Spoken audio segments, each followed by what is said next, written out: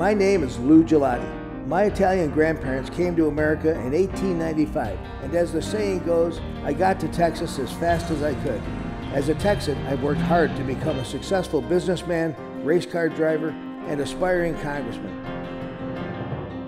I live for God, country, and family, and I believe in fast cars, big guns, and the pursuit of happiness. I am a patriot, and this is my story Cars and Country.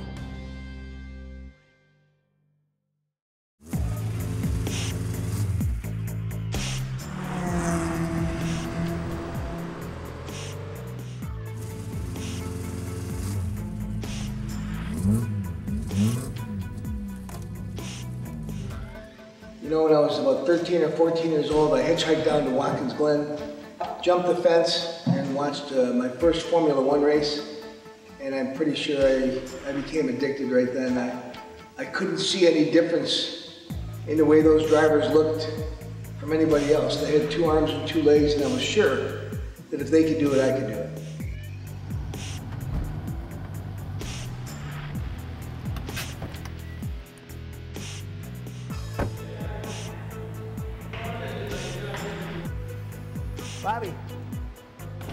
Bobby. Hey, Mike. How we coming on that car? Three days left.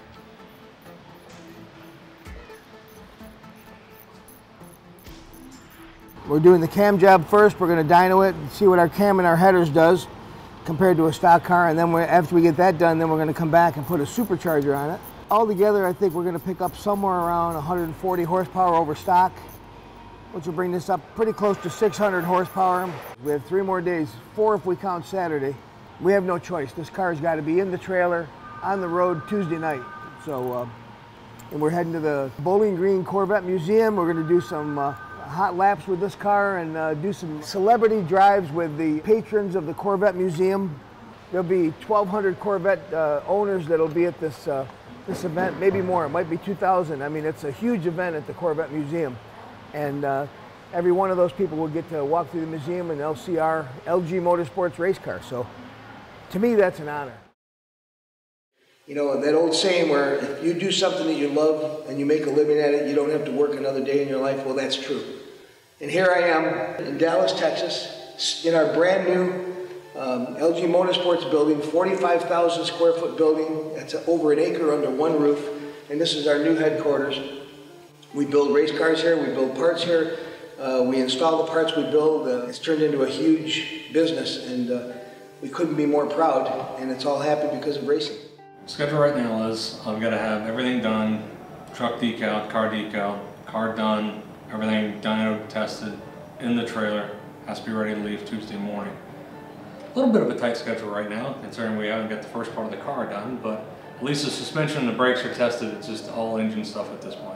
Anyway, we're going to be gone all those days, Tuesday, Wednesday, Thursday, Friday, and Saturday. Okay, then, then the truck leaves on Tuesday. Truck leaves on Tuesday night at midnight. The challenges right now is not only are we getting the car ready to go, but we're also doing R&D and development along with it. So we've got new cooling packages that we're developing along with this. We've got a new radiator that's going in. It's going to get tested for the first time. We've got some transmission cooling upgrades for the car. Again, tested for the first time. We always get it done. it may it may start the, the morning of and run on the dyno and go right in the trailer, but we always get it done.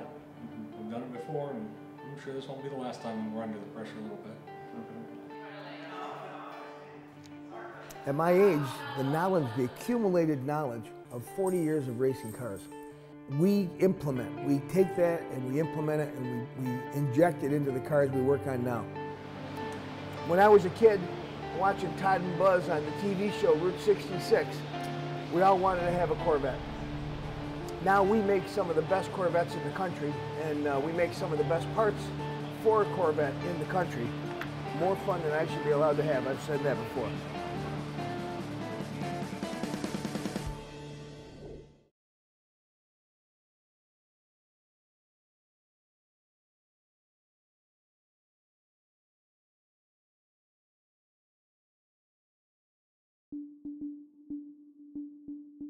Well, how did I get started in racing?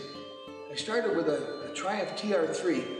I bought it really off a, a dealer's front lot for for $600 and then I tore it apart and it was my first experience and it turned it into probably one of the fastest Triumph TR3s ever. And uh, we made it to the national championship runoffs my second year. That's where a sponsor, a man named Barry Budlong, a businessman from Rochester, New York, decided that he wanted to sponsor me. And Barry took me into pro racing. In 1974, we went to our first pro race up at uh, Mosport, up in Canada.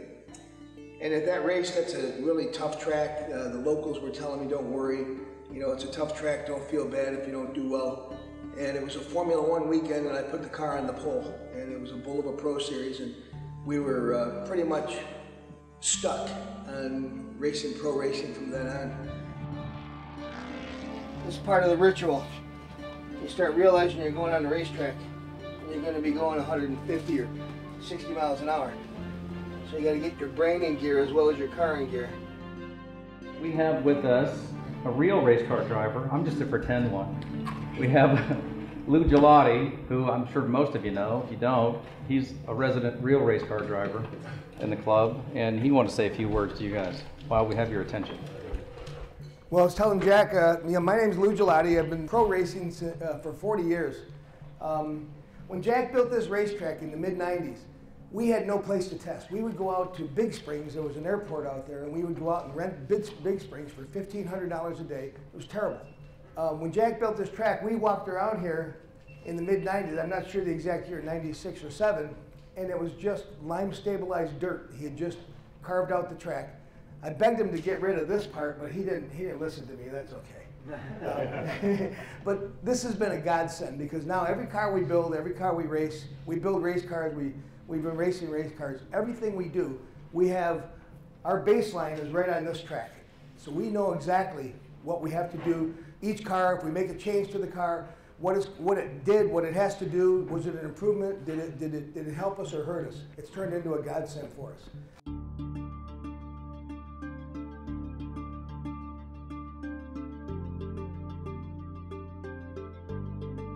We're here at the uh, Corvette Museum uh, at the grand opening of their new racetrack and the 20th anniversary of the museum. And we're here because we have one of our cars, our um, 2008 American Le Mans cars. It's really a piece of history. It was the first American Le Mans GT2 car that was ever built. Uh, it's the only independently run Corvette that ever out-qualified the factory Corvette team. The other thing um, that we're doing is we're giving hot laps. We're going to give the hot laps. Uh, people are signing up, and the money goes to charity, and then they get to ride with me, you know, for 15 minutes in the car. That's a good cause, and how does it get any better? More fun than anybody should be allowed to have, and the money goes to charity. How does it get better than that?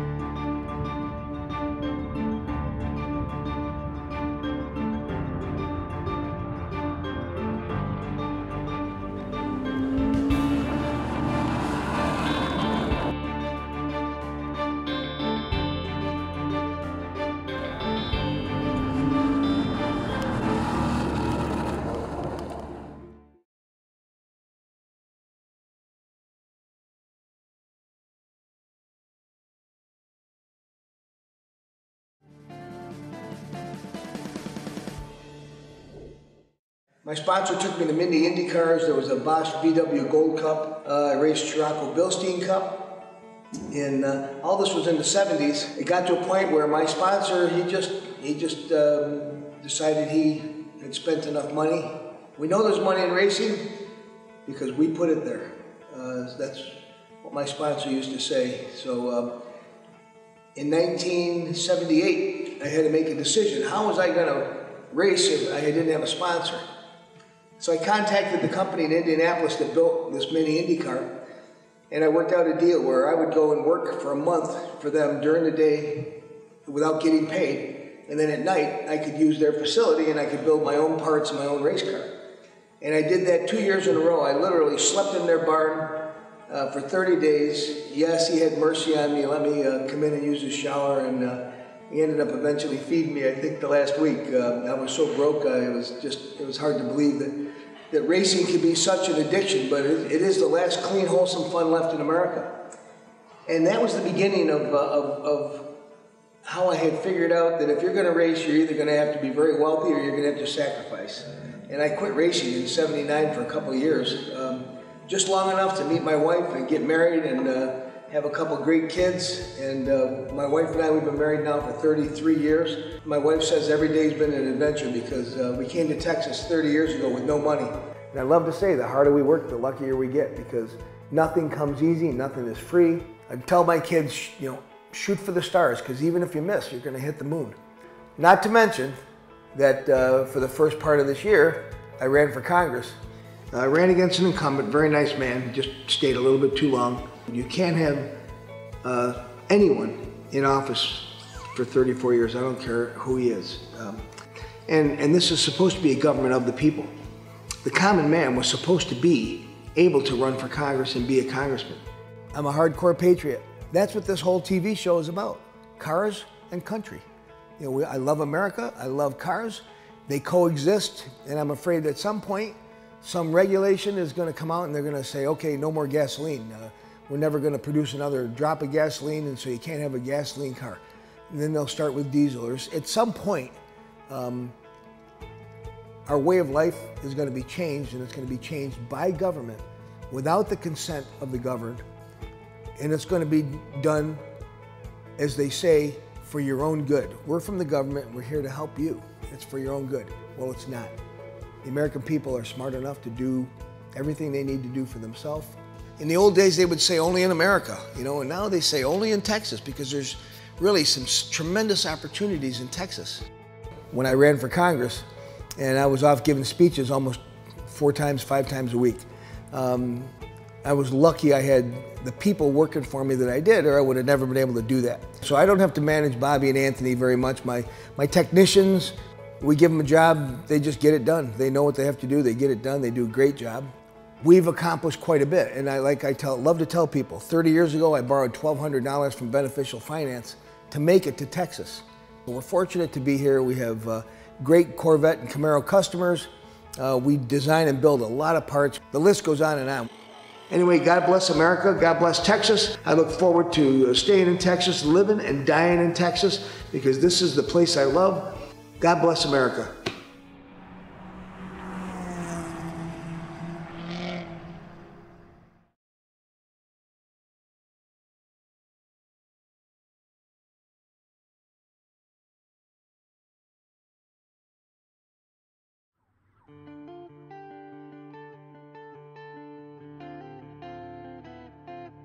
In 1988, the racing and the business collided. 88 was the Corvette Challenge. The promoter of the series, John Powell from Canada, he offered to give me a car to use, and my prize money would go toward paying off the car. And if I didn't win enough prize money at the end of the year, I had to make up the difference and buy the rest of the car, which I didn't have any money. Or if I won enough money, I would get the title of the car. And uh, it turned out at the awards banquet, I got the title of the car and $20,000 check. So now I had a $20,000, I had a, uh, a, Corvette race car. I took it right to the auction, sold it for 30000 and came back with the 50000 I had. We just pumped it into my company and we just started building my company up little by little. And here we are, um, doing what we do best. We build performance parts for Corvettes and Camaros and and to think when I jumped the fence in 1964 uh, for my first Formula One race, that I would ever stay in the racing industry, in the, in the performance parts industry, building race cars and building this sort of thing. You can't wake up in the morning and dream that and say, I think I'll do this for a living. And then usually one day a week I go out and shoot my guns. I have more guns than I ever dreamed I would have.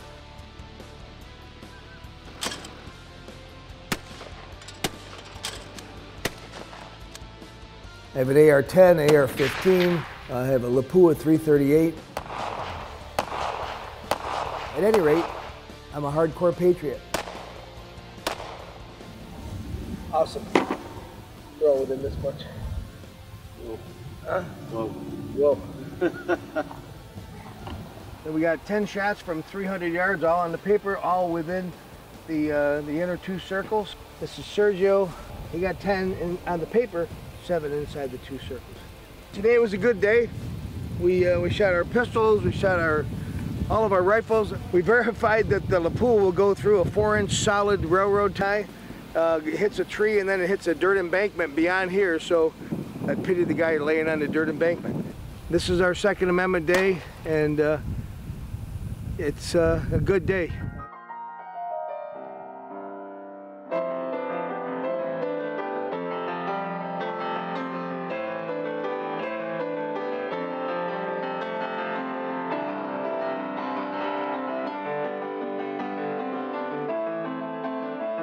Playing piano since I was five years old. Uh, never took lessons, but we always had a piano. I play piano every day because my life is really cluttered. I have my business, my racing, my parts, developing parts. Between my business and everything we do, um, the piano for an hour a day allows me to forget all that.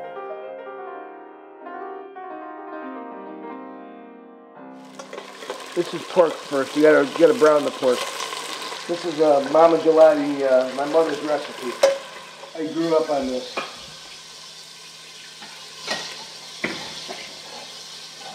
My mother would make a, a pot about this big, and uh, it would last us a whole week. And uh, it would be our Sunday dinner, and then at least two times during the week, and, and uh, Saturdays for snacks. My mother would be proud of me. She died about eight years ago. My dad died when I was 20 years old, 22 years old, of cancer way back then. In fact, it was my senior year when my dad passed away. So um, when he died, we literally had to had to find fifteen hundred dollars to bury him, and uh, you know he had the GI Bill. My mother, uh, you know, my mother was then alone, so uh, it was up to me and my. Uh, I have a brother and a sister. They uh, we had to make sure that, that things were okay for her, and uh, you know that's what that's what kids are supposed to do. My dad and my grandfather were both policemen, so uh, I, if I did something wrong, they would bring me home to my dad. I'd be in deep trouble. Usually, when I did something wrong, it had to do with a car, and so um, that was always pretty funny. Bless us, O Lord, for these thy gifts which we are about to receive from thy bounty through Christ our Lord. Amen.